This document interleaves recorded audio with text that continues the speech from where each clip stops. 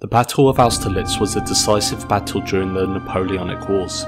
After taking Vienna, Napoleon aimed with his 65,000 soldiers to take on the remaining Austrian forces and Russian reinforcements that totaled around 85,000. Napoleon made false signs that his army was weak, attempting to lure his enemy into battle.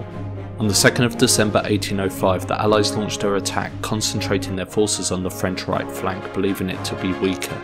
They were shocked by 7,000 reinforcements from French Marshal Davout and an attack from the main French force on the weakened Allied centre. After French forces defeated the inexperienced Austrian forces in the centre, they effectively divided and broke the remaining Allied troops. It was a decisive French victory with around 1200 French killed and 7000 wounded, while 36,000 Allied forces were killed, wounded and captured, over a third of the Austrian and Russian armies.